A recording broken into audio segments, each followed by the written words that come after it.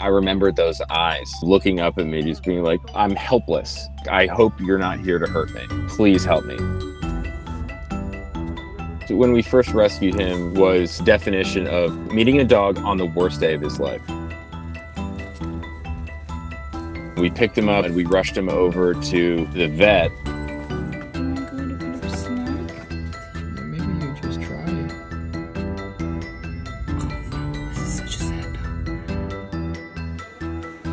The vet suspected someone probably hit him with a shovel. Ah, pues no sé, este, no camina.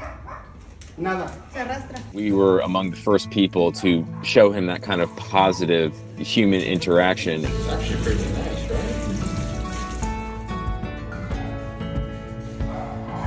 And I drew a really strong con- connection to him. We kept coming back and just sitting with him. You drink?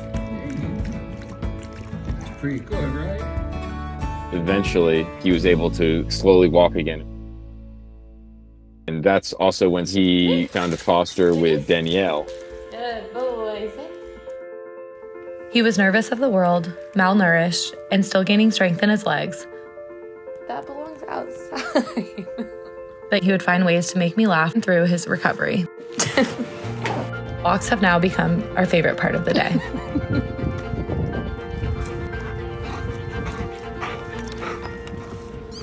Don't hit me with it. The lasting effects of his previous life started to show, and he started to exhibit fear based reactivity to strangers.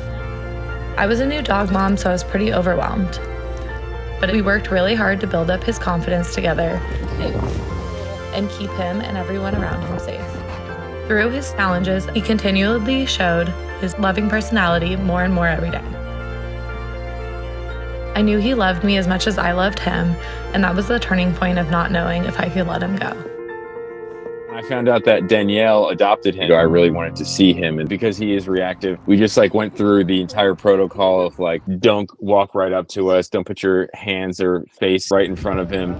There he is. We're just gonna let him walk right by us. We're gonna follow her lead. Preparing for him not recognizing me. Hi. Last time I saw him is over a year ago. Can I say his name?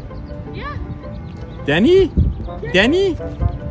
Is that Denny? He started pulling on the leash, and I'm like, oh god, here's this Malinois charging at me. I would just let him sniff you first. Hi, Denny. Do you remember me, Denny? I just could tell immediately that he knew who I was. Oh, do you? You think he remembers? Oh yeah. Denny, do you remember me? Oh my goodness. Remember when, remember when I when you were crying? It was so sad, Danny. But you're here. You have a person, Danny. It was just this beautiful moment. oh my gosh. He was leaning into me and, and wanted physical connection, which was exactly how I remember him being in Mexico. I was like one of the first people to show him love. It was just really special to see that come full circle. And I imagine that next time I see Dennis, he'll be even better. It's okay, Denny. Bye. His journey is just getting started. Bye, Denny.